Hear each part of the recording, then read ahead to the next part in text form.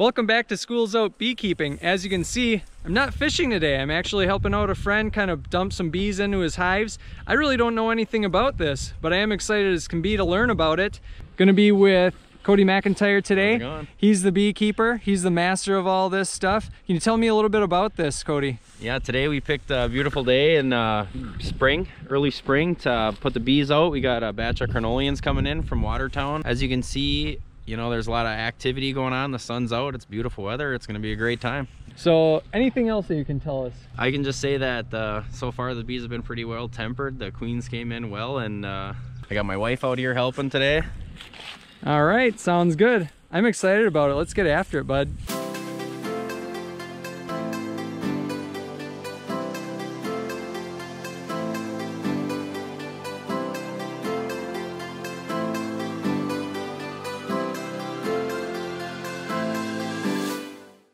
These are three pound bee packages from Dadant and Son.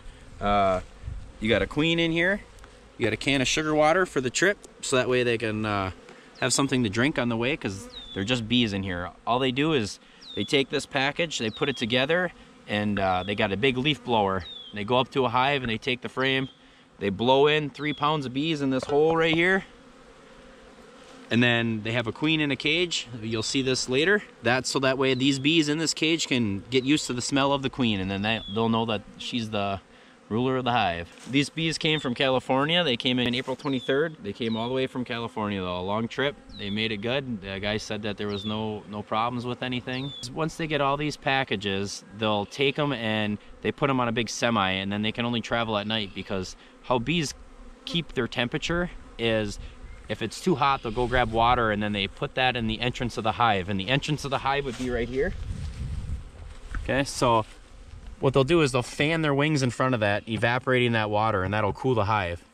But since the bees are locked in the cage, they can't, they don't have access to the water, so they have to travel at night, so that way they can cool off. And what do you have up here, Codi? This is supplementing food for the bees since it's so early in spring, they don't have anything to eat. So this is just a jar of sugar water. Um, it's two parts sugar, one part water, and then I take all my leftover honey that I have in my five gallon pails and I just put it in there too. Gotcha. So, so you said that because there's no flowers out here, they have to have something to eat right away. Yeah. And that's the way you combat that issue. Yeah. Otherwise, um, they they have no food and they'll just starve because they have nothing to eat. So. Okay. And do you leave this out here for like a couple weeks till it's gone, or till there's flowers out? Or... Pretty much till the dandelions come. Once the dandelions come, that's going to be the first real good food. That's uh, like a good maintainer for the bees. So uh, you'll see them once the honey comes on, I mean the, the dandelions come on, you'll see them just multiply and that, that whole hive will just explode. So. Wow, that's crazy. So do dandelions make good honey? Yeah, dandelions make great honey and they make even better comb. Great, that's awesome. So we got our carnelian bees here and we're gonna take them, we're gonna put them in the hive. So you take your sugar water off, get everything off the top. What you wanna do is you wanna take one frame out of the middle. Okay, this is honeycomb from last year. Okay, you're gonna leave a space for the queen.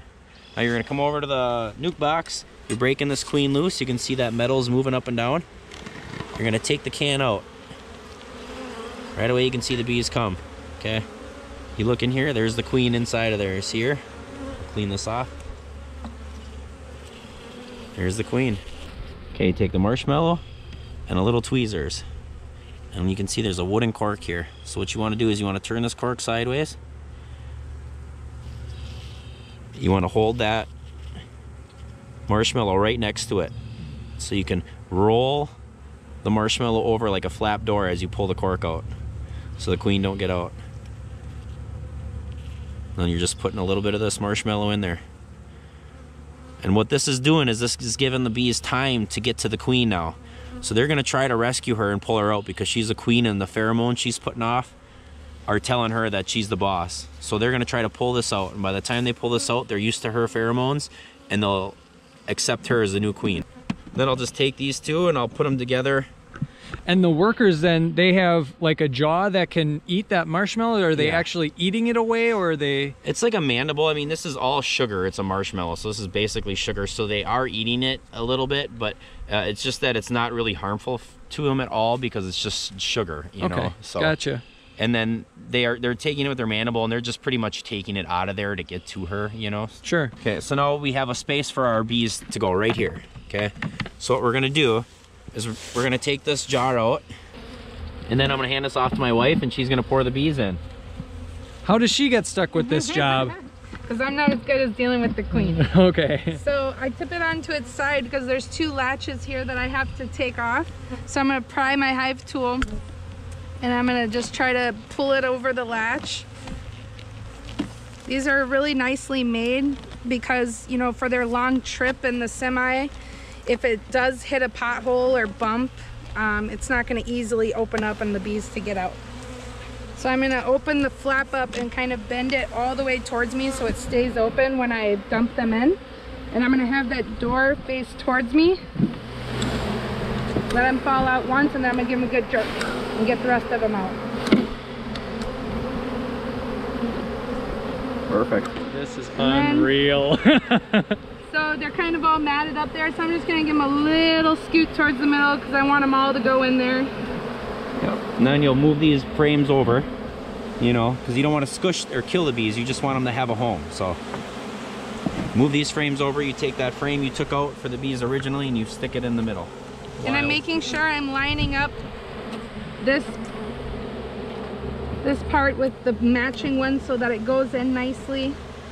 All the while doing it slowly and, and mindfully, making sure that I'm not squishing the bees as I do it. You can already see that all those bees are in that hive.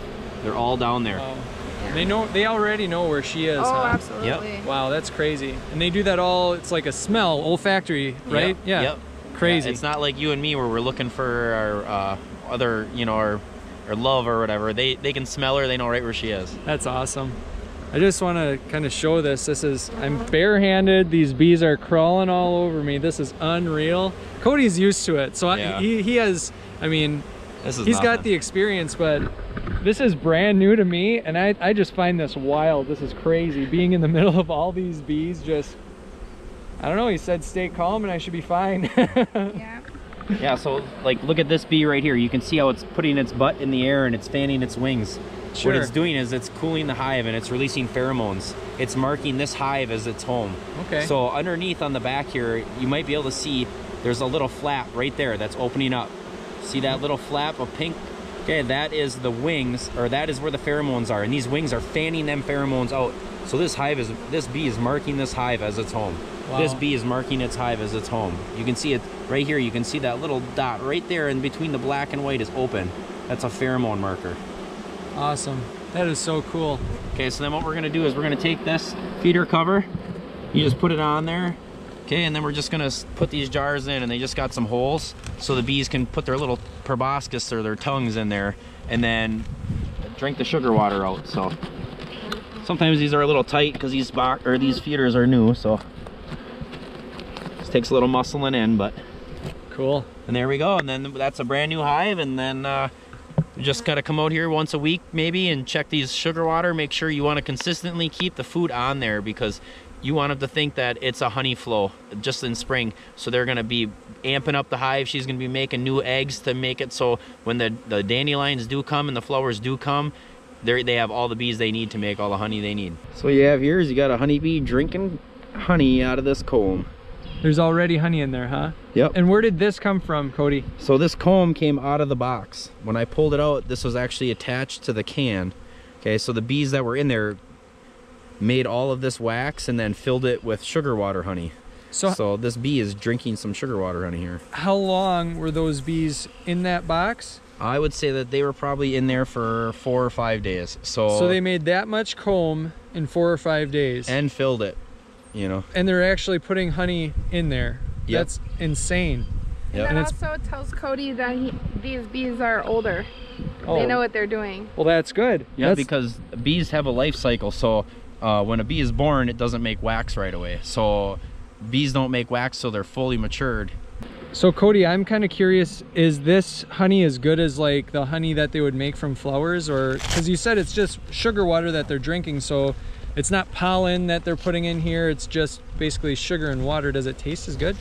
Well, let's find out.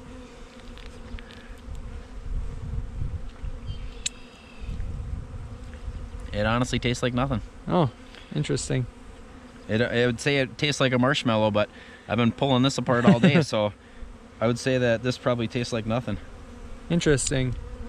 So, what if you just fed your bees sugar water? Would they be able to make honey off that? Would you be able to sell it? I mean, they would make something that you would think would be honey, but uh, when you tasted it, you'd be able to tell that there's no flavor in there or anything, you know. So it, you would tell it's not honey. But uh, all this is doing is is is supplementing food for the bees. So I mean, there's nothing around for them to eat right now at all. They don't have a pantry to go into. So this is giving them a pantry essentially. And then once the real food's around, you know, this would be enough to keep the bees alive for a while, but this doesn't have all the vitamins that a bee needs and all the minerals that a bee needs. I mean, a bee is still a creature, so it needs more than just, you know, sugar water. So you can tell how white this comb is, you know, this is brand new fresh comb, okay? And now I'm gonna grab a frame from here. Okay. Look how dark this comb is. See the difference? That's foot traffic. This is older comb. This is just like if you'd be in your house and you'd be walking on your carpet for years.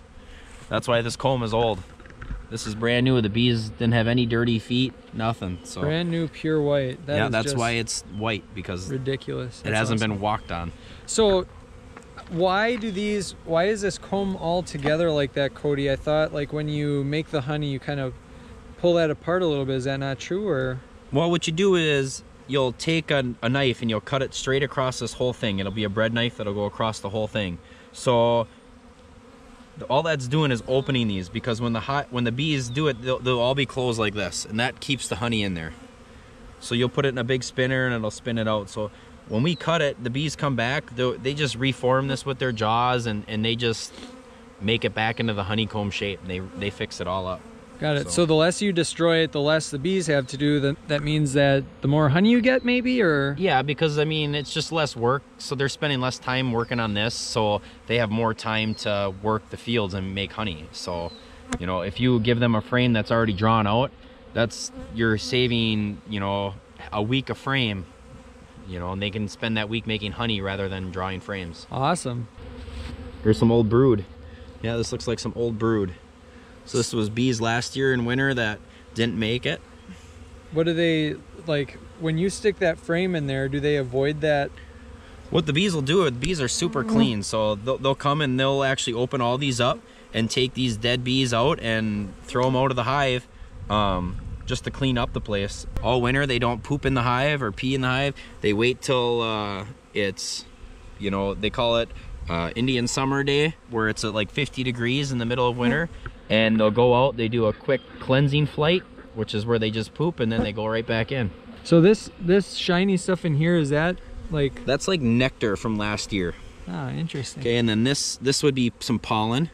Okay, and you can see it's different colors because all pollen from all flowers are different colors. So I mean, you can look in this frame. This frame's got a lot of good pollen in there too. You can kind of see those different colors. If you try that, it, it tastes like a, a shock tart. All right, so what we're gonna do is we're gonna do another beehive here. So how you want to break these loose is uh, they all just slide apart. So you gotta bop them like this. The bees love it. Okay, You're gonna come over here. We're gonna loosen this bar up. The queen's in this box. I like to get it wiggling before I open it. Kind of helps out a little bit. Oh yeah, look at that. They just queen's in here somewhere.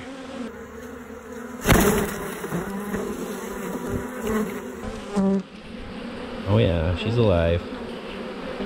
Yes, and you're gonna bring her over here. Okay. And push her right in here. You don't want to put them like this because now when I smush them together, she wouldn't have any room to breathe. So you want to put her like this. You see that wax forming?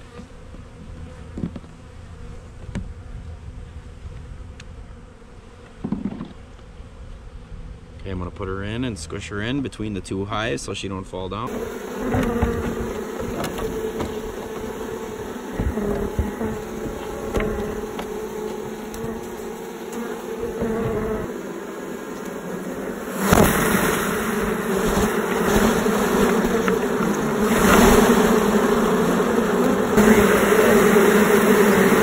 way you're not working in all that venom in that sack right there.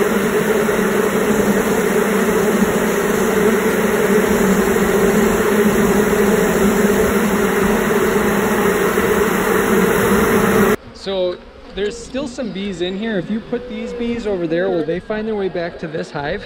Um, they're they're just gonna go with a hive right now because when they were packaged, they were just packaged out of any hive, and then they have a box of queens. So they'll just put one queen in here randomly, fill this up with bees, and then over time they get used to her smell. So right now they really don't have any loyalty to one hive yet, you know. So that's why you want to shake the bees in with the queen that you want them to stay with. Otherwise, you know, you could put all the queens out and just shake the bees in the air and they would all go into different hives, but this way you get a better average of three pounds per hive for bees. But yes, this, all these bees could go into that hive over there and then, you know, this hive ends up with nothing. Well, Codi said that I could do one by myself. We'll see how it goes. Kind of anxious about it. I'll give it a try. He said this.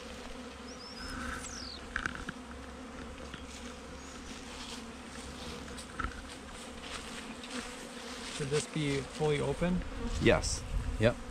Just like that, and then Just just like kind of, yep, and then just kind of angle it so you get them in the middle of the hive. Oh yeah. Nice job. Yep, give her good jerks.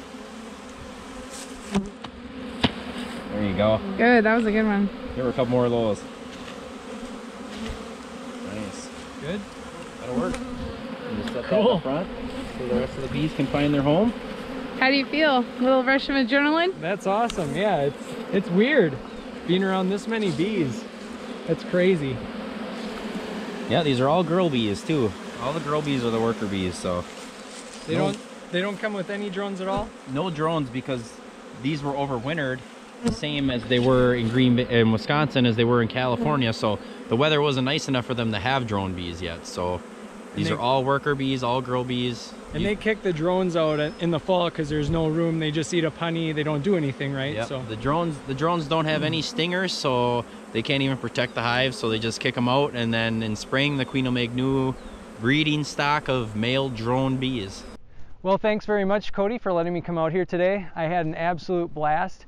I know that some of my YouTube followers might have more questions, and I'm hoping to kind of turn this into a series um, if you're willing to do that. Yeah, anytime, man. I had a blast with you too. Uh, I'm glad you didn't get stung. Uh, you know, you're a great worker. You're easy to work with. It was awesome, man. I'm glad you had a good time. Uh, if everybody likes this, I'd love to share more videos about the bees. If they have any questions, I got my uh, Facebook page, Big Honey LLC. Uh, you can find it on there. Uh, you can leave- comments below on this on this on YouTube. Uh, Yeah. great day. Yeah, any of my subscribers have any questions, make sure to comment because that's the way I'll be able to see it, and that's the way we can kind of put this together for the next video. Thank you very much, Codi. Alright, awesome. Alright. Big honey. Big honey. Big honey. Big honey. Who you squeezing?